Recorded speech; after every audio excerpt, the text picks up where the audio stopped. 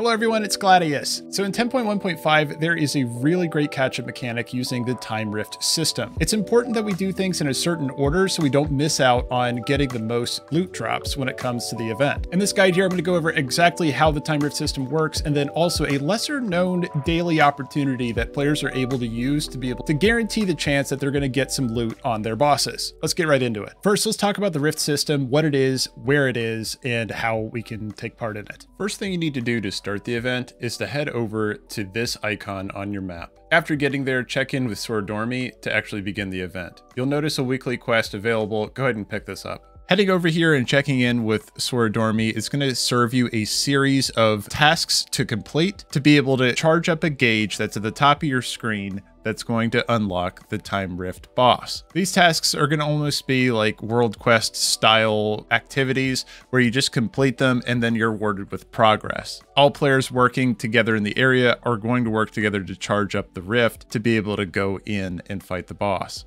The bar at the top of your screen is Temporal Essence, and depending on how many you and the rest of the players in the area score within the first phase where you're completing these tasks, you'll be awarded with a box of Tampered Reality that's going to scale with the amount of Temporal Essence that you earned. This is similar to other World Quest objectives that you've done in Dragonflight, so all players are going to benefit from the progress achieved by any player participating in this event. There's two major currencies we're working with here. There's Paracausal Flakes, which you'll get these awarded as you're completing these objectives and fighting these monsters.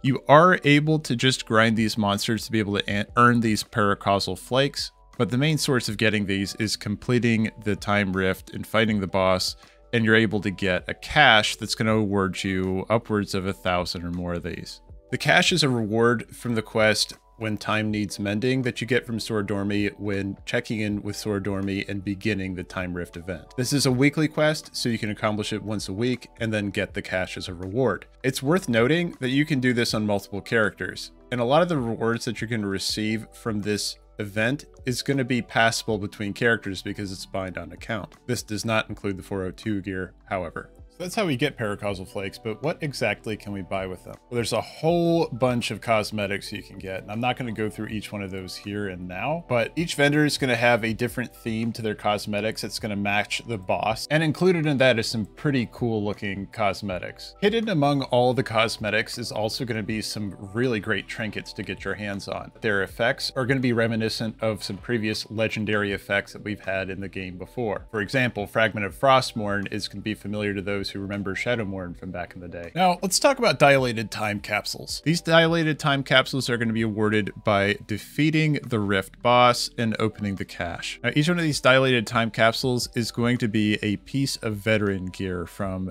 She Everbreeze. This will help you fill in maybe a gear gap with a slot you haven't been able to find an upgrade for just yet, which leads us to our final item that we're taking a look at today called Encapsulated Destiny and the rare version Greater Encapsulated Destiny.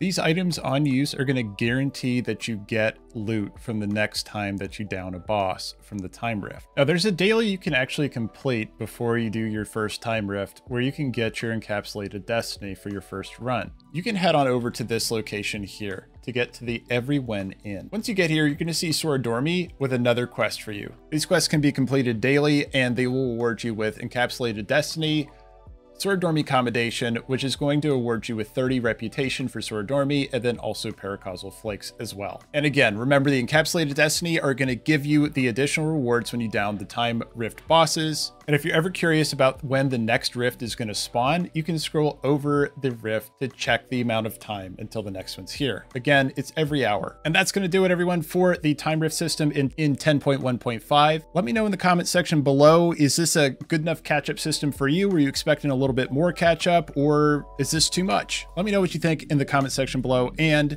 if the video helped you out today, please heroic strike that like button. And if you want to stay tuned for more WoW content in the future, please slam the subscribe. I appreciate your time today and I'll see you in the next one. Bye, everyone.